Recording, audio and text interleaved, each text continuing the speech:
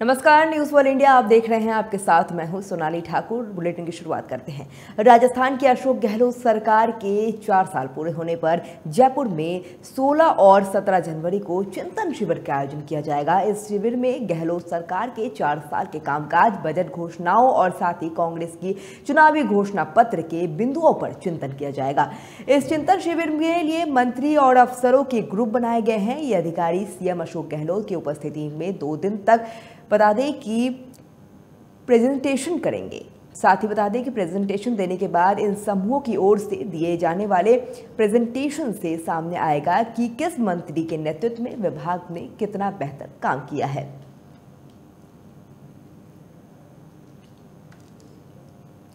वही बीजेपी की राष्ट्रीय कार्यकारिणी की दो दिवसीय बैठक 16 जनवरी से शुरू हो जाएगी और साथ ही यह बैठक राजधानी स्थित नई दिल्ली में आज से ही शुरू हो जाएगी और नगर पालिका परिषद के कन्वेंशन सेंटर में होगी। इस बैठक में केंद्र की सत्तारूढ़ पार्टी में कई बड़े फैसले लिए जा सकते हैं। बीजेपी के राष्ट्रीय अध्यक्ष जेपी नड्डा के कार्यकाल को विस्तार मिल सकता है। साथ ही इसमें विधानसभा और लोकसभा चुनावों में पार्टी की रणनीति पर भी विचार विमर्श किया जाए जाएगा। बीजेपी के राष्ट्रीय अध्यक्ष के रूप में जेपी नड्डा का तीन साल का कार्यकाल इस महीने समाप्त हो रहा है। वही 2024 के लोकसभा चुनाव तक पार्टी के नेतृत्व कर सकते हैं। कार्यकारिणी की बैठक की शुरुआत एनडीएमसी कन्वेंशन सेंटर में शाम चार बजे दीप प्रज्वलित कर किया जाएगा आज। और इसमें बता दें कि नड्डा की अध्यक्ष अध्यक्षीय संबोधित संबोधन होगा।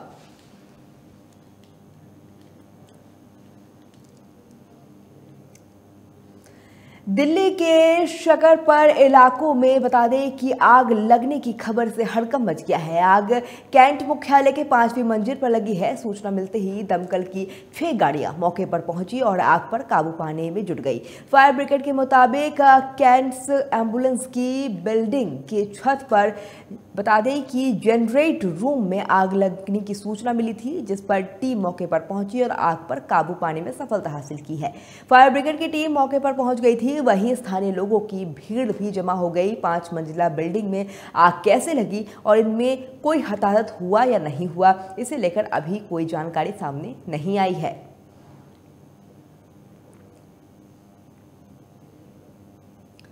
जगत पिता सूर्य की आराधना और आस्था का महापर्व मकर संक्रांति पर बता दें कि सीएम योगी आदित्यनाथ ने ब्रह्म मुहूर्त में आस्था की खिचड़ी चढ़ाई थी। साथ ही बता दें कि गोरखनाथ मंदिर में मकर संक्रांति के पर्व पर यहाँ पर योगी आदित्यनाथ ने आस्था की खिचड़ी चढ़ाई और साथ ही सीएम ने खिचड़ी चढ़ाने के बाद से दूर दराज के लाखों की तादाद में मंदिर पहुँचे। श्रद्धालुओं को द्वारा बाबा को अपनी आस्था की खिचड़ी चढ़ाने का शुरुआत किया। इस दौरान सीएम ने सभी प्रदेशवासियों को मकर संक्रांति की शुभकामना बधाइयाँ दी थी।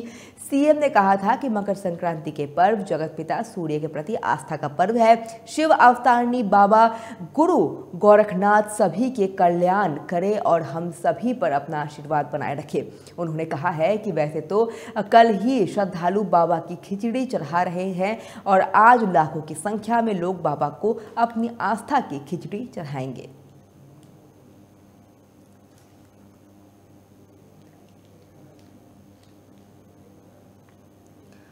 और आगे खबर, रायबरेली से है, जहाँ पर बता दें कि ऊंचाहार तहसील प्रशासन द्वारा ग्राम सभा धत्ता में अवैध तरीके से सुरक्षित ज़मीन पर कब्जा कर भू माफियाओं द्वारा खेती की जा रही है, जिसको लेकर तहसील प्रशासन ऊंचाहार सजग हुआ है और साथ ही ग्राम सभा धूता दल बल के साथ एसडीएम ऊंचाहार आशीष मिश्रा और तहसीलदार ऊंचाहार अजय कुमार गुप्ता मौके पर पहुँचे हैं। यहाँ उन्होंने सुरक्षित ज़मीन को चिन्हित कर लगभग पच्चीस 25 एकड़ ज़मीन कब्जा मुक्त कराकर ग्राम प्रधान और बता दें कि बलराम यादव को सुपूत की गई है।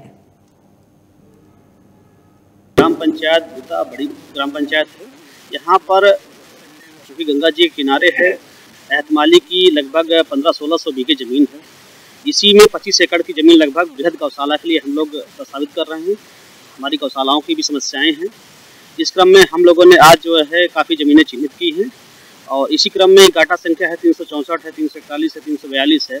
ये लगभग दस बीघे ज़मीन है, जिस पर जो है यहाँ के कुछ अवैध कब्जेदारों ने जो है ज़मीन कब्जा किया था, इसको आज खाली करवाया गया है। और खाली कराकर ग्राम प्रधान को सपोर्ट किया गया है कि अपनी जो है गौशाला बनाने की कार्रवाई करें।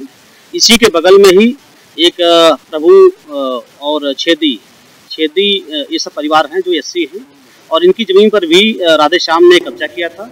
उनको भी आज राधे शाम से लिखा पढ़ी करवाकर कब्जा मुक्त। अंतर्राष्ट्रीय हिंदू परिषद के अध्यक्ष प्रवीण तोगड़िया झांसी महानगर के दौरे पर है। जहाँ से प्रवास के दौरान प्रवीण तोगड़िया, समाजवादी डॉक्टर संदीप रघा बता दें कि सरावगी के कार्यकाल कार्यालय पहुँचे हैं और बता दें कि संदीप सरावगी के कार्यालय पहुँचने के बाद संघर्ष सेवा समिति के सदस्यों के साथ प्रवीण तोगड़िया के विस्तार से वार्ता हुई है। प्रवीण तोगड़िया ने संघर्ष सेवा समिति द्वारा किए गए कार्यों की खुलकर सराहना की है और उज्जवल भविष्य की शुभकामनाएँ दी है। संघर्ष सेवा समिति कार्यालय में प्रेस वार्ता के दौरान प्रवीण तोगड़िया ने कहा है कि डॉक्टर संदीप द्वारा किए जा रहे सामाजिक कार्य सराहनीय है। ऐसे सामाजिक, ऐसे समाज सेवी पूरे देश में नहीं देखा गया है, लेकिन समाज सेवा के साथ धर्म की सेवा का कार्य संघर्ष सेवा समिति अद्वितीय रूप से कर रहा है। प्रवीण तोगड़िया ने कहा है कि देश में इस तरह की सनातन संस्कृति के रक्षक खड़े होकर हो जाए तो पूरे विश्व में सनातन संस्कृति का परचम लहराएगा। किसी भी देश को उन्नति पर लाने के लिए जिनकी आवश्यकता विकास की है, उतनी आवश्यकता राष्ट्र निर्माण की भी है और विकास के साथ ही राष्ट्र निर्माण के कार्यों पर भी ज़ोर दिया जाना चाहिए। पिछले सरकारों में सनातन संस्कृति पर कई बार कठोर घाट, कठोरा घाट किया गया है, लेकिन वर्तमान में स्थितियों में कुछ सुधार आया है। हमारे युवाओं में धर्म के प्रति जागरूकता बढ़ी है। धार्मिक मामलों में अब लोग रुचि दिखाने लगे हैं। वर्तमान में महिलाओं के प्रति होने वाले घोर अपराध के कुछ मामले सामने आए हैं, जिस पर सरकार को कठोर से कठोर कदम उठाना चाहिए और जनता को आश्वस्त कराना चाहिए कि आगे इस प्रकार की घटनाएँ ना हो। हमारा संगठन पूरे देश में पाँच करोड़ घरों को जाकर उनकी समस्याओं की जानकारी जानकारी लेंगे और इसके साथ ही हिंदू हेल्पलाइन का नंबर भी देंगे, उन्हें मुफ़्त चिकित्सा, मुफ़्त अधिवक्ता की सुविधाएँ भी देंगे। साथ ही उन्होंने कहा है कि जिस तरह से सरकार ने धारा 370 हटाई है, उसी तरह जनसंख्या नियंत्रण बिल भी लाना चाहिए। अन्यथा एक समय ऐसा आएगा जब हिंदू इस देश में अल्पसंख्यक हो जाएगा और यह देश अफ़गानिस्तान भी बन सकता है।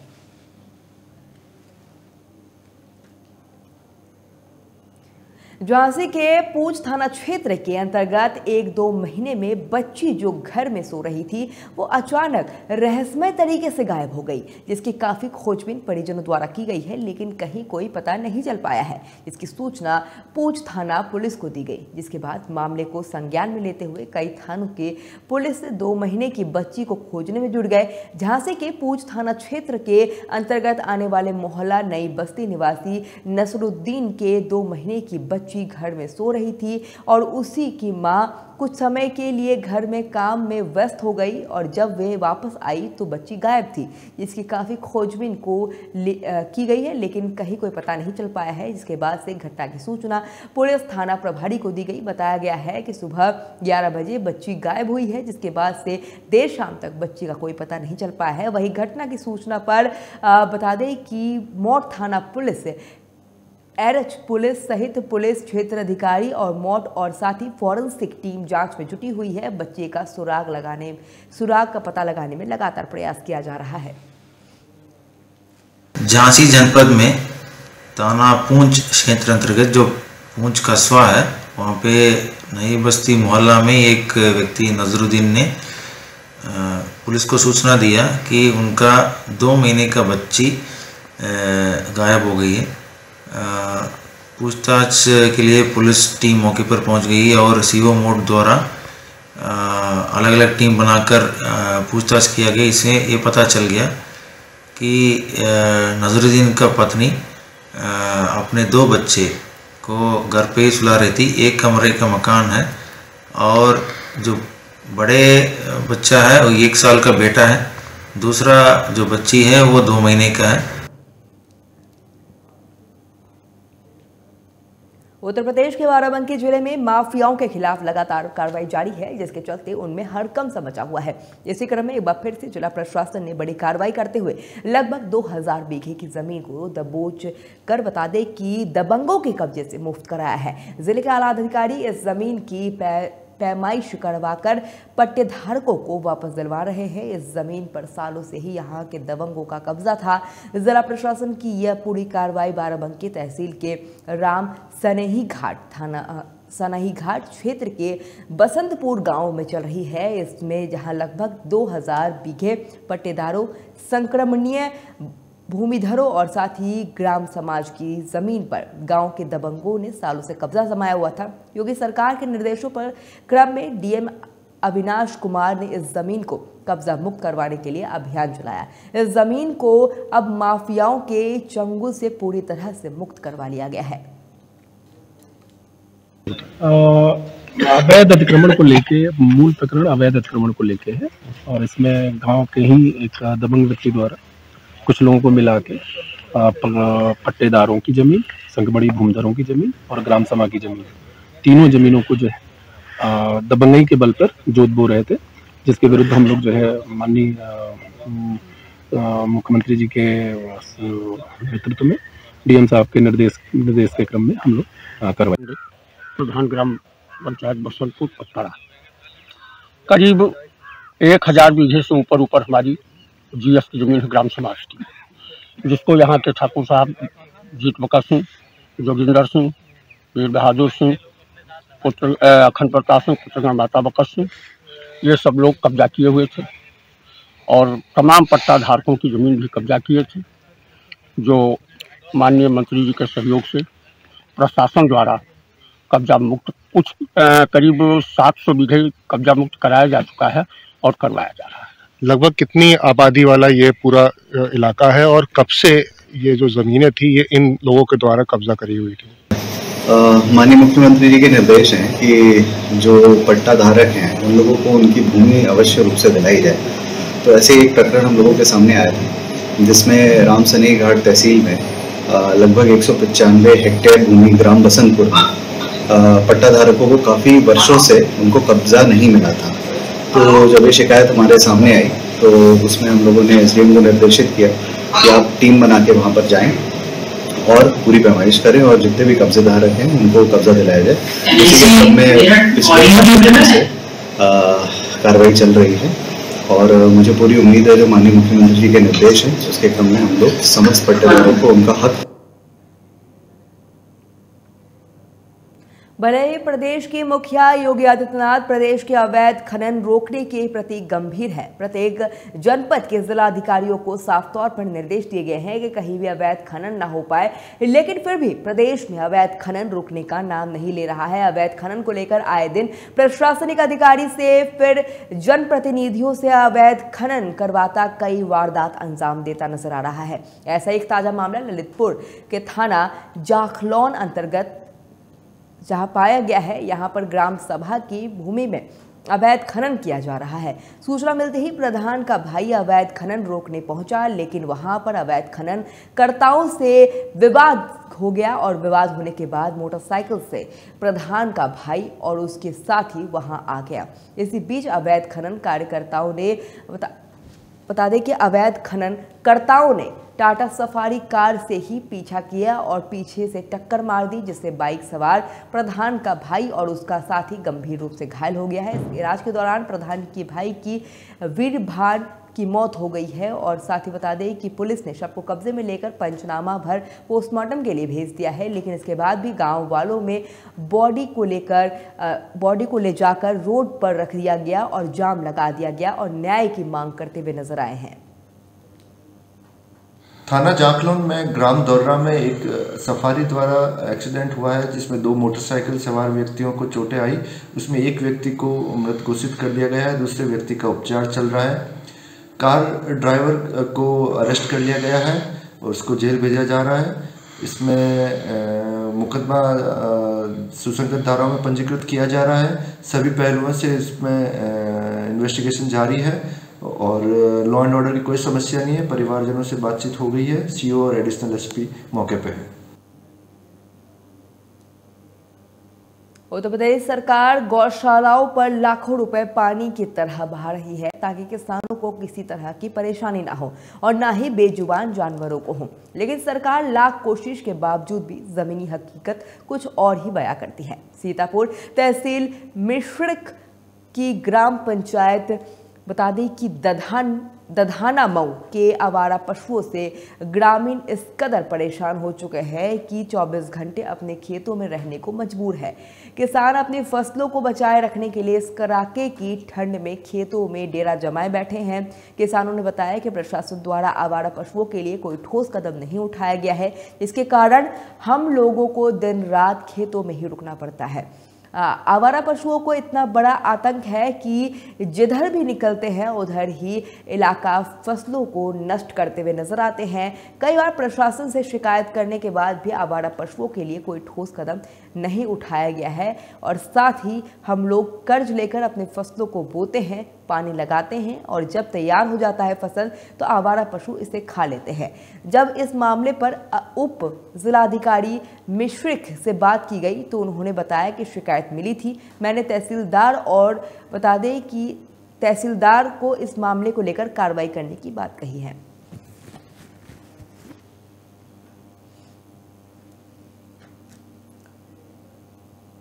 अब खबर गाजीपुर से है, जहाँ पर पुलिस ने बड़ा खुलासा करते हुए नकली नोट बनाकर बेचने वाले गिरोह का पर्दाफाश किया है। इस गिरोह का मास्टरमाइंड सुरेश रजत अपने साथी के साथ फरार हो गया, लेकिन स्वातिर किस्म के आधा दर्जन तस्करों को पुलिस ने गिरफ़्तार कर लिया है। पुलिस ने इनके गिरफ्त से पाँच सौ के तीन लाख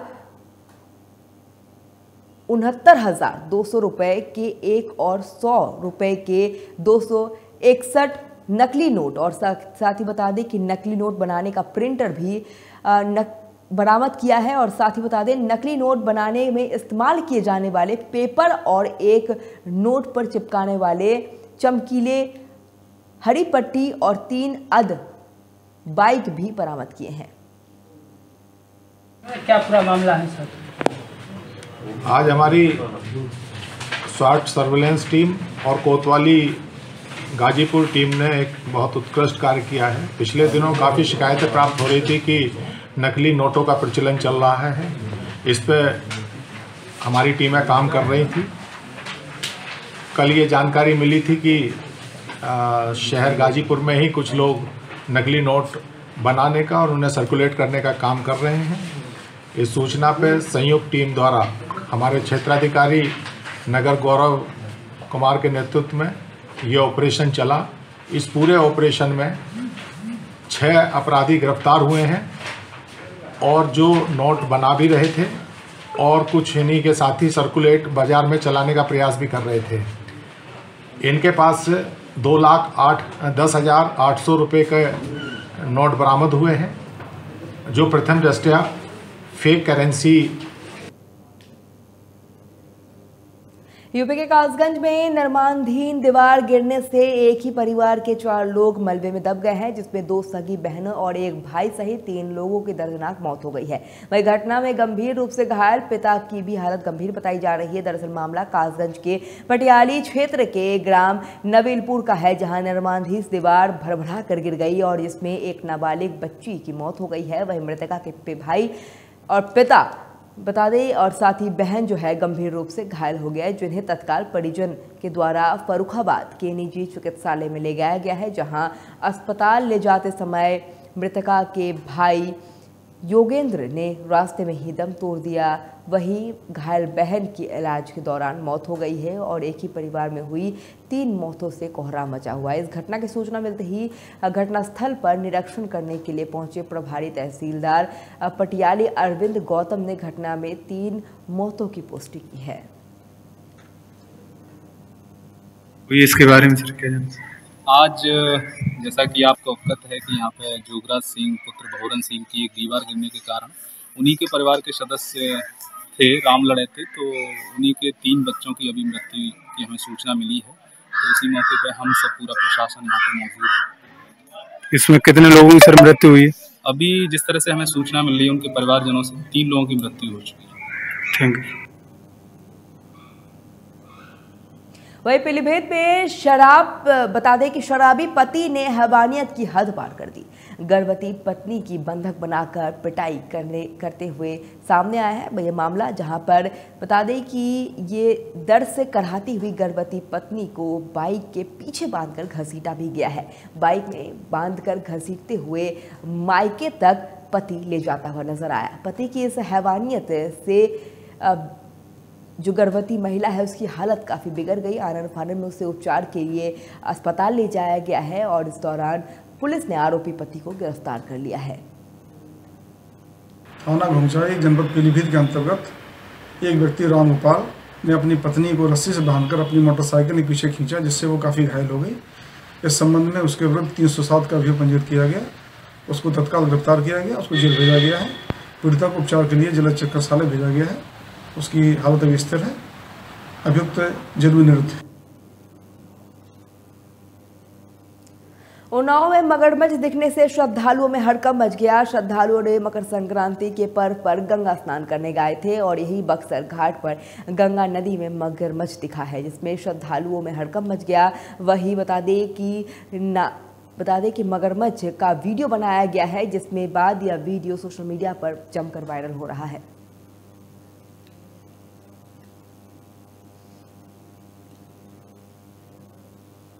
वहीं उन्नाव में तेज रफ्तार का कहर देखने को मिला है, जहाँ तेज रफ्तार डंपर और ट्रक में भीषण टक्कर हो गई। अनियंत्रित डंपर ट्रक के पीछे से जोरदार टक्कर मार दी। वहीं हादसे में डंपर चालक और परिचालक गंभीर रूप से घायल हो गया है। घटना की सूचना में पहुँची पुलिस ने रेस्क्यू कर दोनों को बाहर निकाला, साथ ही गंभीर हालत में दोनों को जिला अस्पताल में भर्ती कराया गया।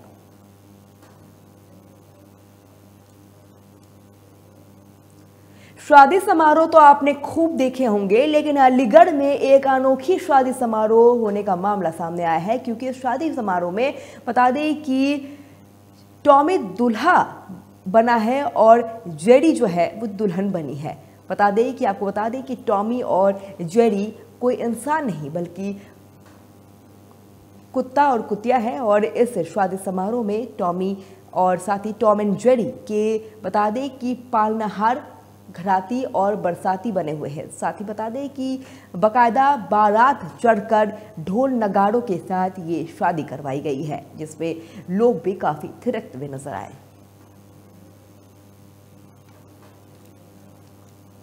चलिए, फ़िलहाल इस बुलेटिन में इतना ही। न्यूज़ वन इंडिया पर खबरों का सिलसिला लगातार रहेगा जारी। नमस्कार।